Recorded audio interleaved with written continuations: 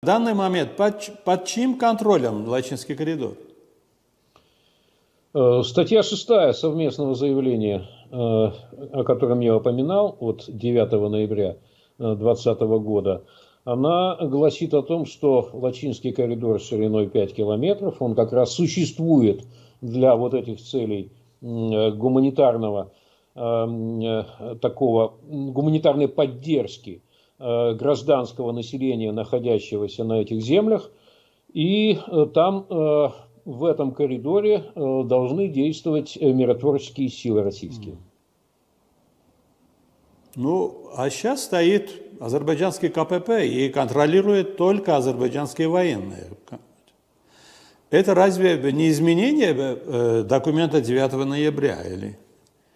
Мягко говоря. Фор, формально, формально нет, потому что мандат российских миротворцев – это предотвращение э, военных столкновений, вооруженных столкновений масштабных. Имеется в виду между э, вооруженными какими-то отрядами.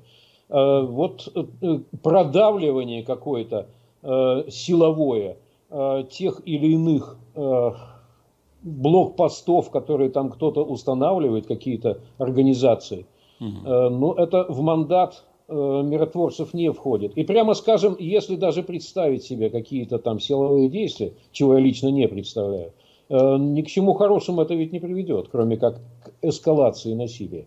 Здесь нужно включать, конечно, не столько миротворцев, вооруженных российских миротворцев, сколько Э, правозащитные организации, гуманитарные организации и апеллировать э, к международному общественному мнению. Но, кстати, я думаю, что и Они сейчас э, активно осуждают. азербайджанские власти, если какой-то будет призыв с армянской стороны срочно встретиться и что-то обсудить, ну, могли бы и откликнуться. Кроме известного совместного трехстороннего заявления 9 ноября 2020 года, есть еще одно, один трехсторонний документ э, от 21 года, от января. И вроде бы там эти вопросы урегулированы, и надо настаивать на их исполнении. Что касается действий тех или иных там э, добровольцев, волонтеров, каких-то гражданских организаций и всего остального, но это должны все-таки решать не вооруженные миротворцы.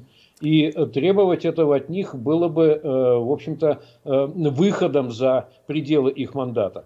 Э, мне в этом случае, мне вот как человеку, естественно, сочувствующему любым там страдающим гражданам, мирным гражданам, мне, естественно, интересно, а вот какой-то призыв, например, от депутатов армянских, депутатам азербайджанским, встретиться немедленно и это обсудить, какие-то контакты между неправительственными организациями двух стран э, вот в этот момент происходят ли. Потому что односторонняя такая апелляция к вооруженным миротворцам, она вряд ли принесет успех и сможет помочь гражданам, которым действительно надо помочь.